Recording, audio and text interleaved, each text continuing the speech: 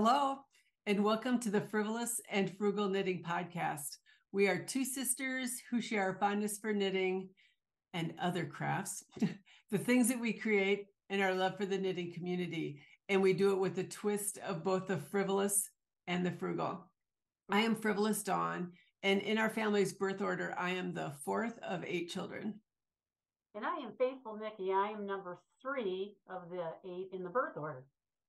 There are two other family members that are part of this podcast who are not able to join us today, but they will as soon as they can. Um, um, Miss Penny, she's the oldest in our family. Um, and Faithful Brianna, she is the daughter of number seven. And both of those stay involved in the podcast behind the scenes. But until their schedules get a little less busy, um, it may be a little bit um, before you join or before they are able to join us. And thank you for all the kind comments when I did one last week where I went solo.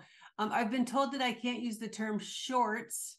Um, I, I called it a frivolous and frugal shorts because there is already a whole platform on YouTube where they use the word shorts for very small or short in length videos. So I think the next one might be called the frivolous and frugal fast one. Wow. How about that? Um, for those of you who are returning viewers, thank you so much for coming back. We appreciate that you um, pick your time to spend with us and know that we are very grateful for that time. And for any new viewers, thank you so much for joining us. We'd love to hear how you heard about us. Feel free to leave those in the comments below. Um, uh, just a little bit of background on our family for those who may be new. Um, we are a family of eight children. We grew up in a small town in eastern Iowa and we're about two years apart on average. So um, we often refer to ourselves by the number we are in the birth order, and most of the time we get it right. Oh. Sometimes we don't. Um, somebody was asking about, um, I don't know how we got in this conversation about how we were all named, but um, a little bit of background. My mom was first going to name all of us after money. So hence Penny. Um, Nicky and her twin brother Nick were named after their Nicolette and Nicholas after the nickel. When I was born, she wanted to ma- name me Demetra after the dime. Thank goodness her mother said, I don't like that name. Now, I don't know if she cried, but in my mind, she cried so much that she didn't like that name. So, how else was I named? The lady who shared the room with my mom.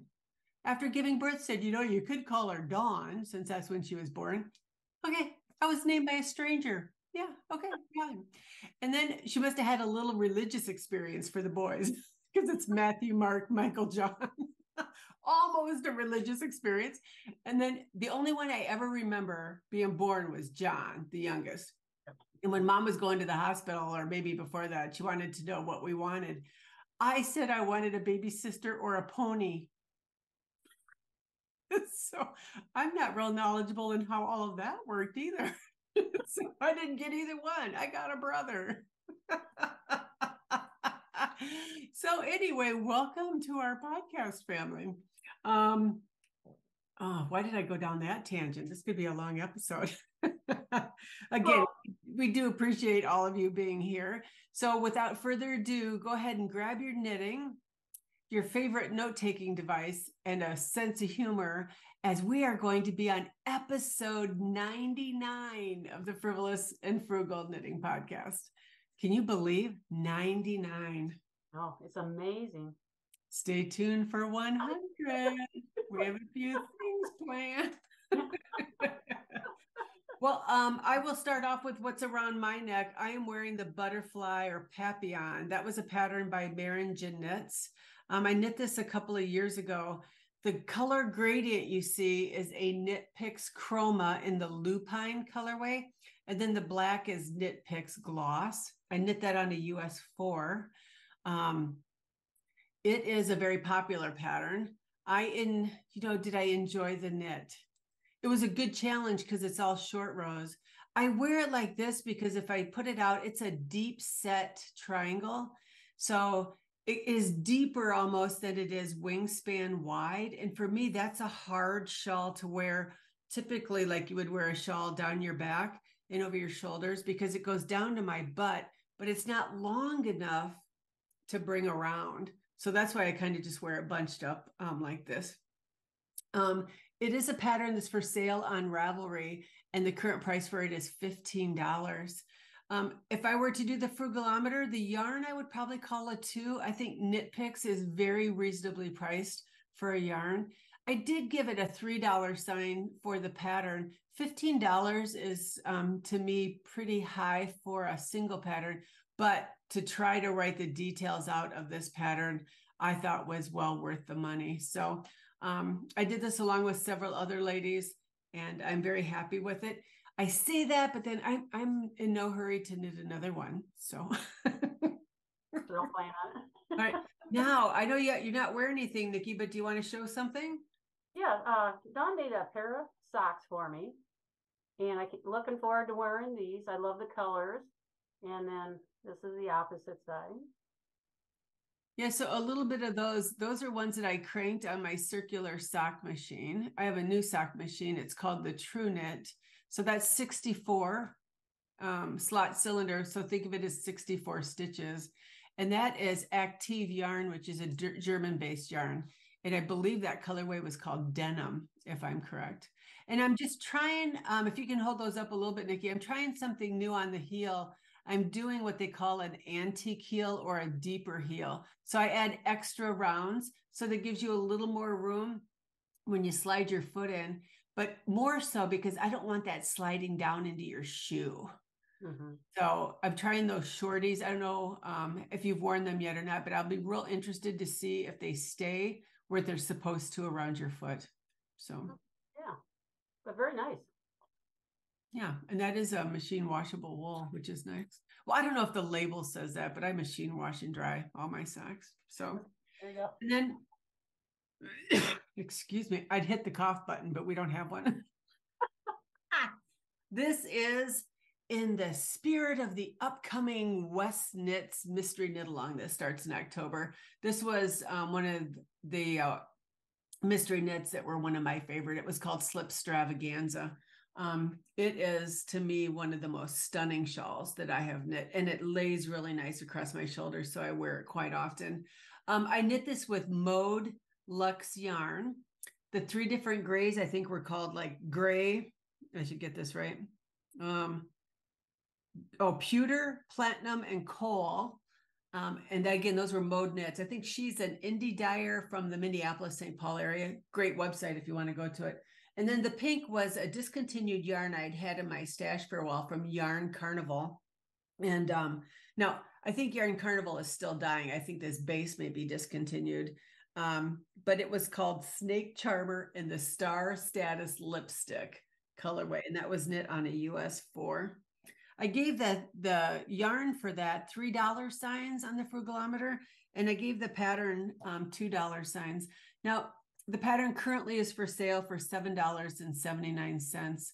Um, I learned so much with every West Knit mystery because you get the videos every week that kind of walk you through. So, um, lots of different techniques I used on this. This was the first time that I went to a, a stitch count of or um, a border where I think there were 954 stitches on the needles.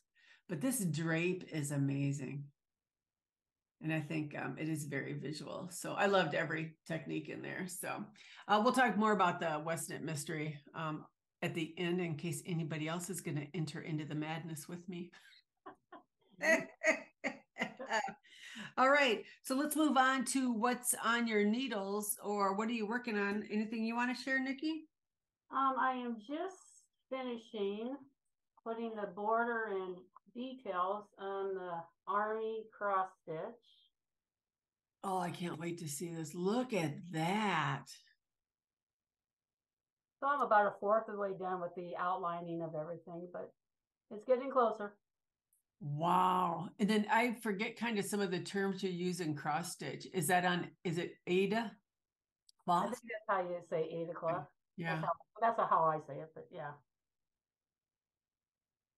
So that's a little monotonous doing all the backing, but Boy, it's what brings it to life, though, isn't yeah, it? it does. It really yeah. does. So. And you have done those for all of our siblings that are in the military. Yes, I have. So I have one Air Force yet to go. So I did the Navy one for Steve years ago, based on yours. Wow, that is spectacular work. Now, any rough idea the number of hours that are in that now? Oh, no. No, We'll just say plenty. yeah, plenty. He's out of trouble that way. Or less trouble. And um cross stitch is really making a surge back. I am impressed with how many people now in the knitting world who are also cross stitching. Well, and I see that on Instagram too, you know. the- Yeah. The crossover, I guess I never realized how many people cross over from one to the other and. Yeah. it's kinda cool. those those YouTubes are called floss tubes, I think. Oh, okay, uh, YouTube's dedicated to cross stitch or maybe embroidery too. So, um, yeah, thank you for showing that. That'll be fun to see that when it's finished. And now that it's starting to get a little cooler, maybe you'll get some more time to work on it. yeah. Maybe. I say that it's supposed to be 80 degrees here one day this week. Yeah, I know. Um, all right, let me give you an update on this shawl I'm knitting. It is called Hollows. It's a pattern by Melody Hoffman, who is the designer behind Bee Mandarins.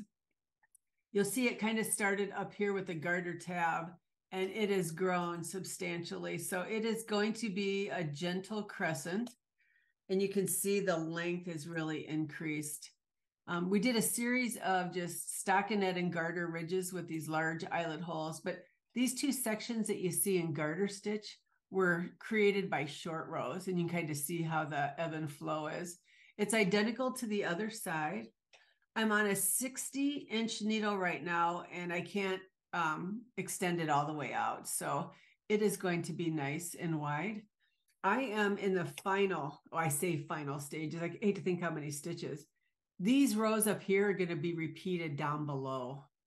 So I've just started those. The rows are getting long, but it is a pretty simple knit. Now that yarn is showing true to color that you're seeing on the screen. It is a Cascade Heritage Silk in the Como Blue colorway. I don't know why I had so many skeins of this. Um, I put a little bit of that in my last Olga Jazzy Lisa Hans um, shawl. I have all of this, and I bet I'm still going to end up with not quite a full skein when I'm done. Um, so this is knit on a US size six. I'm happy with it. I'm doing kind of an informal knit along with Miss Cheryl. We cast on at the mini meetup this year. Um, last time I chatted with her, hers is coming along as well. So um, when she's done, I'll ask if she can take a picture and maybe we'll be able to insert it together. Or maybe the next time we're together, we can both be wearing it. Um, as far as a frugalometer, I gave the fiber Cascade Heritage Silk a $2 sign on the frugalometer. And I gave a $2 sign for the pattern. It is currently on sale on Ravelry for $6 and 55 cents. It is very well written. I think this is probably my first Melody Hoffman pattern I've done, at least that I can recall. I'd have to go in and actually do a search on Ravelry to figure that out. I was hoping to be done today, but I'm not. So I don't know. It might it might get done before the end of the year. Let's say that. All right. All right. Anything else you want to share, Nicky? What else? I'll get out, uh, I just started the air, well, no, I'm continuing to work on the Air Force. Oh yes, look at that. So that's a work in progress there. That is one big piece of fabric. I know. Oh gosh, I can't wait to see that progress as well. It'll be fun to watch it. Yeah. So it's just, you know, I guess I, as I'm getting back into it, I have to have my focus time to be able Yes. to accomplish it, you know, that kind of stuff. So I can't be watching baseball or anything, you know, and be productive without pulling it out. And Yeah, it's me. My focus time is first thing in the morning when the house is quiet, and my brain is going to be a, as awake as it is all day. So, with the benefits of the first caffeine of the day as well. there you go. All right. Um, I have a new cast on that I want to show you. I had the sheer pleasure of going to Calgary, um, Alberta, Canada, to spend a few days with my dear friend Norma. And um, this was some yarn I bought when I visited her last year. So I thought I'd better cast it on before I go. So this is the Capelet Deja Vu. Yes, it is a pattern um, by Donna Palika. She is an owner of a yarn store in Chicago called Seven Arts Studio. This was one of her patterns for the Chicago Yarn Crawl a few years ago. And I saw the gals from Edmonton, oh, podcast on. They used to have a yarn store there. Um, Cindy, one of the sisters, has done like five or six of these.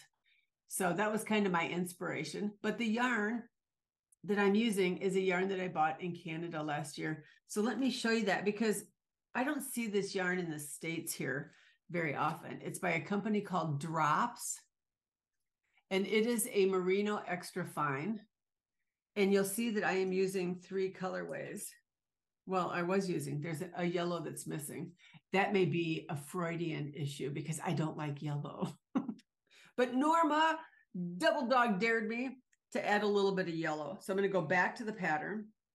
According to the pattern, this gray at the top should have been yellow.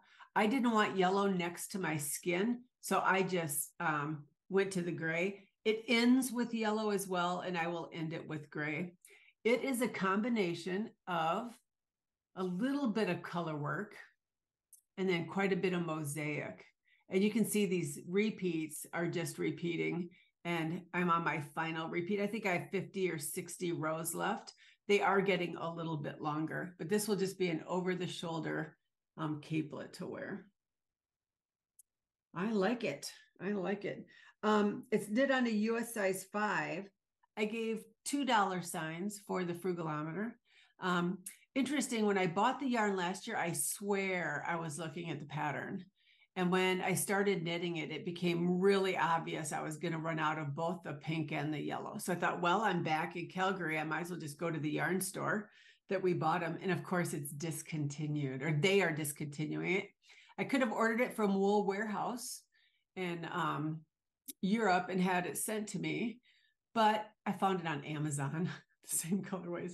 And so far, I haven't noticed a difference in the color, the colorways, that it was going to be an issue. So drops is a very reasonable um, priced yarn. And um, I'm enjoying this so far. And what's interesting in the pattern, um, she has you just keep changing the length of your needle. So it's the same size needle through the whole project, but you start on a 16, then bump to a 24, I think a 32, a 40, and now I'm on a 60. Um, so it was kind of interesting. If you have interchangeable cords, that's perfect. I love my fixed circulars. So I, I just happen to have enough for all those different sizes. Yeah. I don't know if you can catch a little bit of texture. It's probably hard to see. I don't know. Yeah, and kind of these kind of ridge right here. I don't know yeah. if you can see that. That doesn't quite look the same as this colorway, does it? it? Looks a little bit different. So maybe the third one's a little bit different too. You see what I'm saying? Yeah. It's pretty. This sequence is not the same as this sequence. And I wonder if it was supposed to be. now's the fine time for me to notice that. Um, if not, it is now. So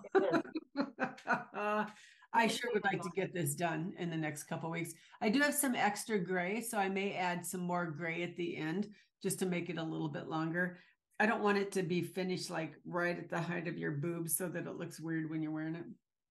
So and then I'll see if I like this neckline. If it's a little loose, I may go in and tighten that up. I tend to like a, a tighter neck.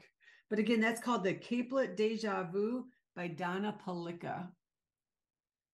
All right. I think, Nicky, that is all that's on my needles right now, if you can believe that. Wow. Two things. I know. All right. Well, anything else you'd like to? Coming up, so. What's that? The Stephen West knit along's coming up. So that is my goal to try to get my needles as clear as possible for that so that when that is here, I can focus. I'll have other projects going, but my time first of part of every day will always be to try to stay up to date on the the clues, depending on how much he has us knit from week to week. Yeah. Any interesting podcast statistics you'd like to share with us? Well, yes. Um, throughout all 99 episodes, you've had six different mannequins or things you've traipsed around the country in.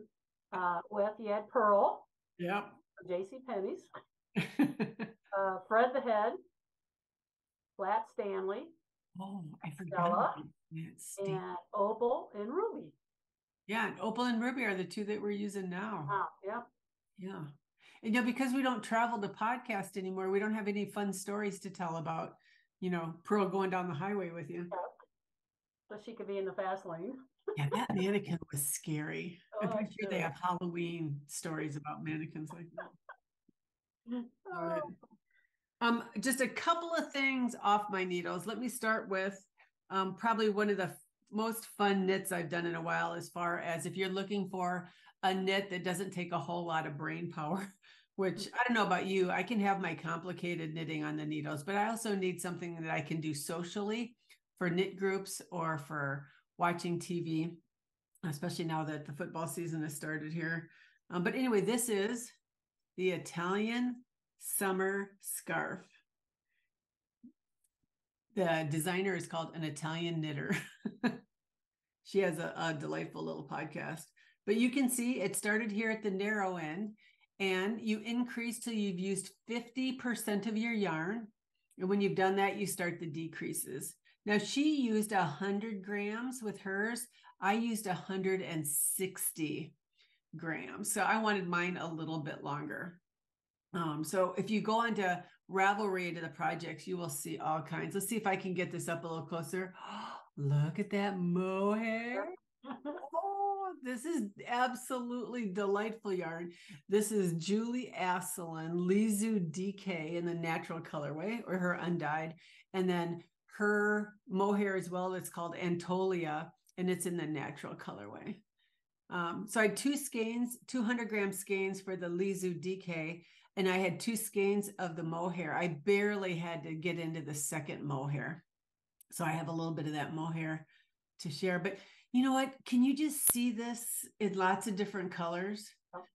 The I tried when I was in Canada to get the yarn that was used um, in her design because it's it's called Sandnes Garn, I think, Lena.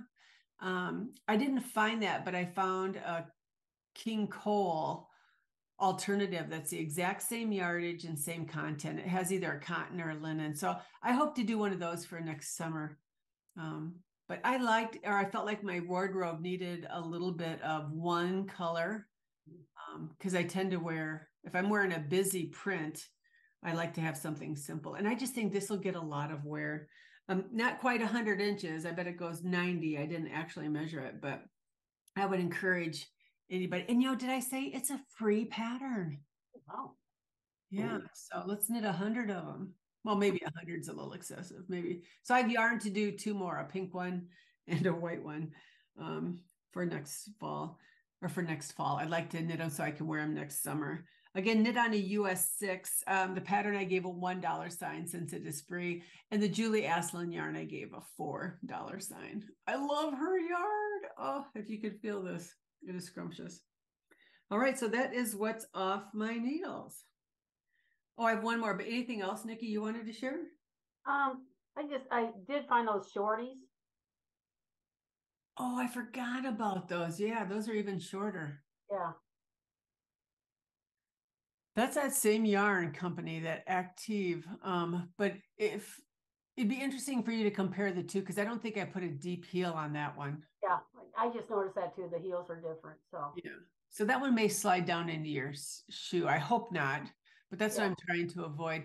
Also, I realize that some people have higher insteps. So when they slide their foot into a sock, it's hard for them to make the curve down to the toe. So I'm Oh, trying yeah. to create a little extra fabric in there so that it's not so tight. Um, and there are plenty of people in the circular sock machine world who are willing to share their knowledge um, with you about different ways to improve socks. So um, I've been quite busy actually lately doing socks on the machine. Um, I may try to do maybe a little uh, fast one episode um, on that possibly in the future. So they gave me lots of ideas for those to do. I think my next fast one, though, if I had to guess, would be all of my West knits in preparation for um, the mystery. Of course, everybody's talking about Stephen West now, but you look back and you think, wow, I can't believe I knit that. Or um, what did I do with that shawl? Because I don't remember seeing it for a while. So, all right. Now, the next thing I have finished, I'm going to have to put on, please. Let's say, please don't let me show something here I'm not supposed to. I finished the Aura Vest by Irene Lynn. I'll show it to you first and then I'll put it on. It is in that royal purple as you are seeing it. What a lovely written pattern. Um, I'm so glad Angela encouraged me to do one of her patterns. Um, so she is pretty size inclusive, which I appreciate. Um, let me get you a little bit of detail on this. Um, I used Cascade yarn in the Anchor Bay colorway in the deep purple. Anchor Bay is the the yarn. It's a DK weight. Um, deep purple is the color. Knit on a four and a six. Now, when I was doing it, I thought these arms were way too long. In the pattern, when you see it, she is wearing a long linen dress that has um, sleeves kind of like mine, where they're oversized. So the purpose of this deep armhole is so that when you wear it, you're not pulling up the arms of the what what you're wearing underneath. Yeah. So I probably wouldn't wear this like with a turtleneck or a long sleeve t-shirt because that long armhole would be very noticeable. But I wear lots of dresses that have that kind of um, longer. Yeah, so like this. So it is oversized. I think 12 inches of positive ease. Oh, I'm not gonna be able to show it, am I? We'll see. There you go. So you can kind of see the arm issue. Mm-hmm. So this, it's not gonna pull up on my tunic that I'm wearing. Next time I may make that just a little tighter. So I have lots of positive ease in here, but I like it. I'll wear it over dresses. Yeah, it looks really nice. I think I could get away with the one size smaller. I think I followed the pattern for a U or for a size six. I may try a size five again if I do it, but I am very pleased. Um, again, probably not the most flattering look with this type of a tunic, but put over a dress, it is a very cropped, if you will. It goes just to hit the top of my hip bones. Um, so I don't want it tightest around my abdomen where it is the largest. Otherwise, you know, neon signs would kind of do it too, wouldn't it? Like, okay, Dawn, don't knit that again. um, I did do a wet block on this and let it dry naturally. If I would like it a little bit tighter, I'm tempted to block it again, or not block it, get it wet again and throw it in the dryer because this is a cotton um, wool yarn. So it might tighten up a little bit, but I just love the look of the V. Um, by itself, it's way too low. I'd have to I definitely have to wear something underneath it. But um, yeah, for me who doesn't knit garments very often, I kind of like it. So, so. Yep. And other details about that um, frugalometer, I gave two dollar signs for the fiber, and I also gave two dollar signs for the pattern. It is currently on sale on Ravelry for seven dollars and fifty cents. It is the Aura vest by Irene Lynn. Look at some of her patterns. Oh, she just wrote a meticulous pattern too. And for so I don't do a whole whole lot of lace, but it was very easy to follow when I did them. So that is currently what is off my needles. What are you learning these days, Miss Nicky? Well, I kind of led to it before. Um, back into cross stitching now. I need to get my I guess the outside world focused in and turn off the baseball games and everything so I can get back to counting the stitches and putting focusing all everything on that project. So that's a kind of a change of pace I haven't had all summer, putting yeah. all that focus on that. But uh, you know, I kind of do it right before I go to bed. Sometimes if I'm, you know, especially on the long rows of the same color, I can just count them out and then, you know, go. But that's been a hard change, you know, from going fast pace all summer long to yeah. Now, do you have to use a special light? Yeah, you bought me that OttLite. So oh, I yeah. that light. Yeah, I maybe it's an age thing too, but I realized if I have a really nice light, mm-hmm. that just makes my eyes not have to work as hard and it doesn't seem to drain me as much. But I'm interested. You like your focus time at night? I like mine um, first thing in the morning. So yeah, well, that, you know, first thing in the morning, I usually go out walking, so that's where I get my long walks in as soon as I get up and yeah, maybe I should do that. oh no. uh, let me think about that. No, okay, I'll walk to the coffee pot and back. maybe make a loop around the kitchen. What the Oh, whoa, slow down. okay, what I'm learning, um, I failed at being a hooker. I know. And how does that work into a knitting podcast? Now get your mind out of the gutters. If Penny was here, she would tell me to. I tried crochet again. I crocheted as a child, crocheted for many, many years, long before I ever knit. My mom taught all three of us to crochet. Interesting enough, she never read a pattern in her life, but um, I've crocheted a lot in my younger years. I wanted to do this beautiful cardigan called the Mezzo cardigan.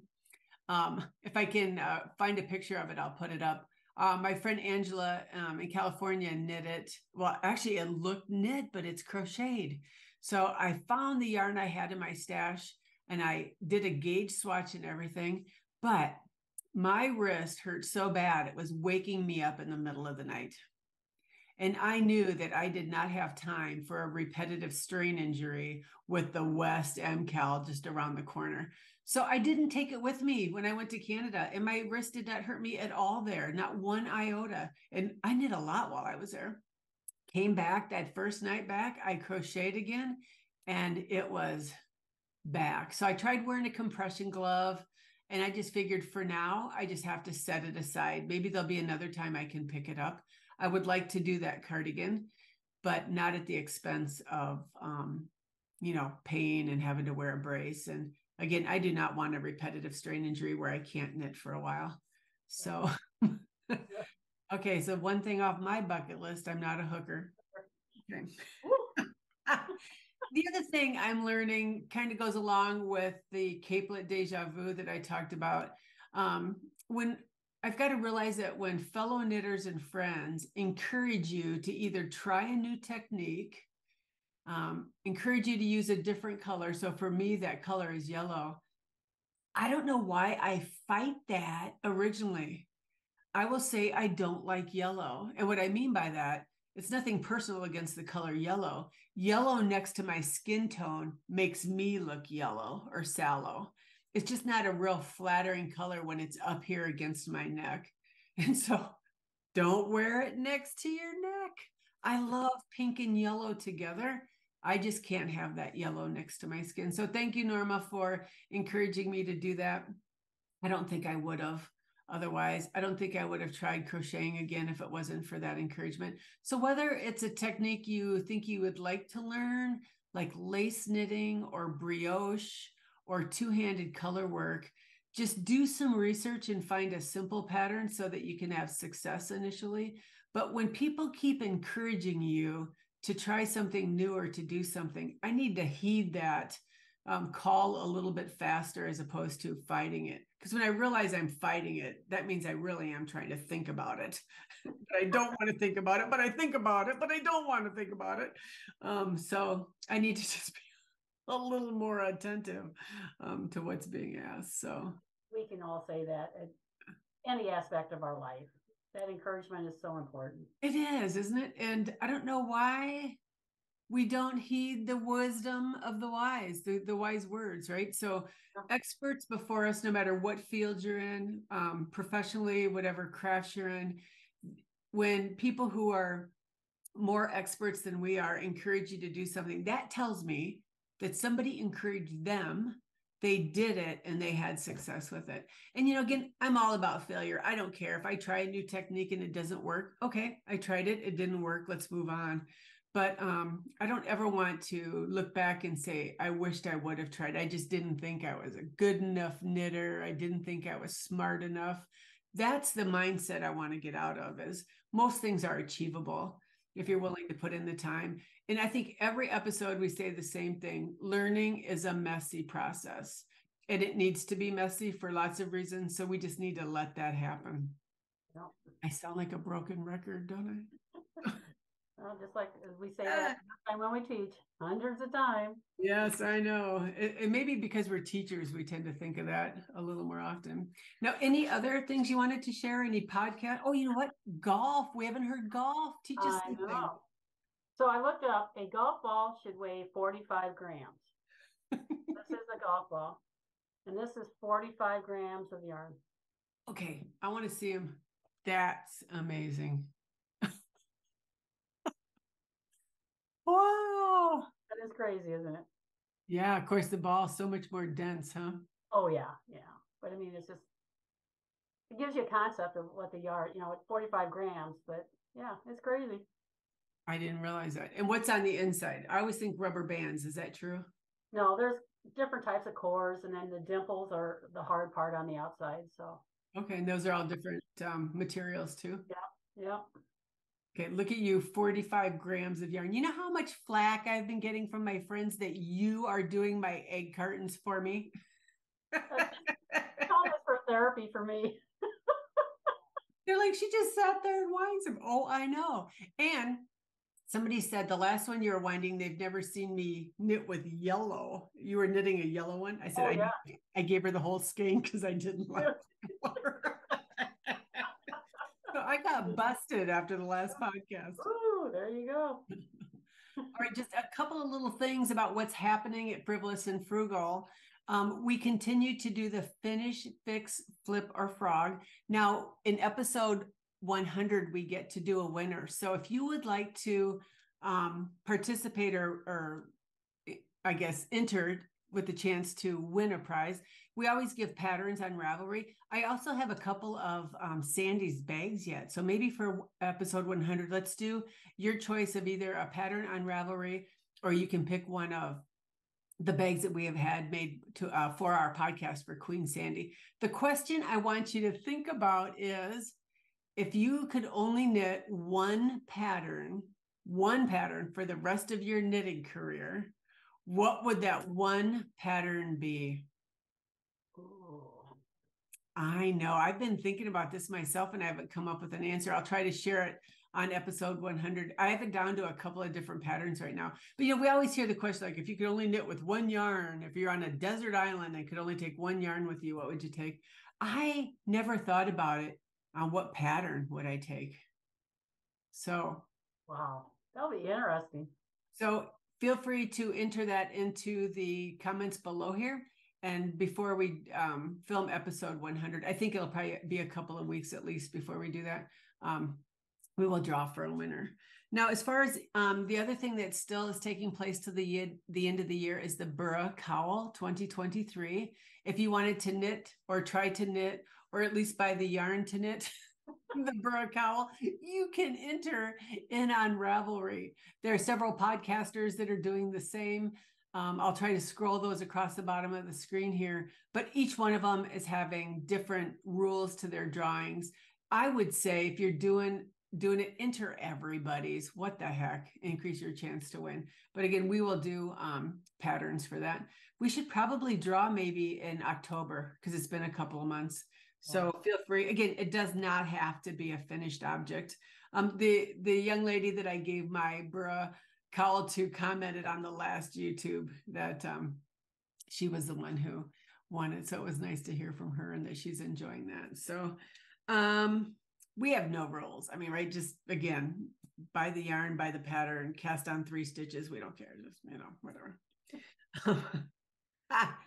um, that's all I have. I don't think we have uh, anything else planned. I don't know if we'll do another along before the end of the year. We have not discussed that yet. So if we decide to, um, we will sure to let you know. All right. Any honorable mentions, Nicky, for you? Um, just a shout out for Irene uh, from Irene Design. She made this Musselburgh hat for my best friend Donna. Um, so that was a pleasant surprise, and Donna just wanted to say thank you. Wow. And you know what? That yarn has to be Ogle Designs yarns. Do you think? Did she tell you the yarn? Um, she did not. If I had if I had to guess. Um, and then that gets darker as you go to the inside. You want to pull it apart. Oh, look at that. Oh, that's amazing. You could wear it either way, couldn't you? Yep, you can. The Muscle is a pattern by Ysolda Teague. Now, Ysolda came out with a new pattern a couple of months ago. It's back here on my screen. It's called the Leaf Hat. She knit it, uh, she wrote the pattern for new knitters. So if you are interested in doing a hat that ultimately becomes triple thick around the ears, um, that's the pattern. I'm going to try to cast that on um, for some of my Zoom knitting or car knitting or brainless knitting.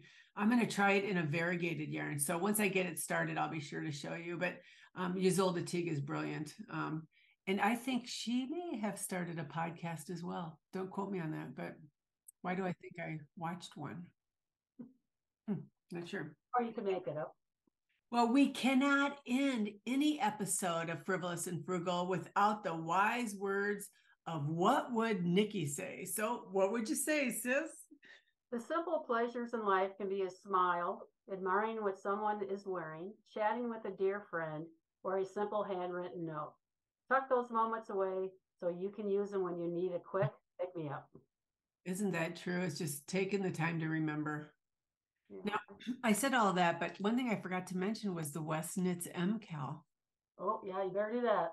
So, in the event that you have not been paying attention to anything in the knitting world lately, October 5th starts the, I think, 14th annual West Knits Mystery Knit Along. I just wanted to uh, show you the yarn that I've purchased. He recommended um, four solid or semi solid colors in a gradient. It's called the Geo Gradient. So he's alluded to the fact that it's going to have some geometric to it. That's about all the clues we're getting. I did a Zoom last week with him. Now, not just him and I, that would have been amazing. But I did it with, is it Longmont Yarn Yarn Store does what they call fireside chats and they um, interview a designer every month. You should get on their mailing list if you want to see um, who they're all um, talking to. But you um, pay a small fee to join the Zoom, and it was with Stephen West last Sunday, and he talked about the whole, um, all of his mystery knit alongs, and he showed from year one to where he is now. There were four older shawls that he had did is a mystery that I would like to knit sometime. I definitely can't commit to doing them in the next year, but I would be fun every year to do one of his older ones along with his current one. But these are the colors that I've picked for this year. So I am doing a gray gradient. When I was in Calgary, I went to Ancient Arts. They now have a brick and mortar store. This is their sock yarn called Socknado. And the lady that was working there, I just asked her to find some different gradients and she picked these for the grays. Now this one is lightly speckled and he said that's okay. And can you see in this dark one, there's it's kind of some tonal as well. So I'm ready for these. Um, you can purchase the pattern now, but nothing, there'll just be some information to for you to download. But starting in October, every Thursday morning, a new clue will come out for four weeks. I think I'm going to join along again with Fiber Irina from Fiber Chats and Martin from Knit 365. They'll do some virtual events during that time. And um, I told them I'd gladly participate or Again, it's not like they called me and asked me, but I will participate. Why do I love these grays? Now, you know what I have on standby in case he calls for a shock of color? Pink, of course, bright, bright neon pink. Also, if there's a mohair dare, I may take it this time. I've not put mohair in any of my previous last West knits, but that is it. Well, yep. Can't wait to see it. And again, it was delightful for me to spend some time with Miss Norma, which made which reminded me, you know, we know her only because of this podcast. When we did those virtual knit togethers during the pandemic, we met her and um, developed a friendship. And now I've had the opportunity to go visit her twice. Um, and if I get her permission, I'll put a picture of her in. She knit this beautiful capelet that um, if you do see the picture, I'll include the name of the pattern as well. But thank you, Norma, for allowing me to come visit and stay. And I think I may have drove her crazy. Yeah. And while we were there, Knit Social announced that in August of 2024, it's going to be Knit City Calgary. So she's like, You think you're coming? Uh. I don't know how I'll make it work, but I'll make it work. Oh, going to be fun to take take her to Knit City, Calgary. All right, yeah. Um, yeah, it was it was a delightful time there. So I think um, if there's nothing else, we will say goodbye to you, and we sure hope that this week finds your knitting with a little twist of both the frivolous and frugal. And we will see you back for episode 100. Bye. Bye bye.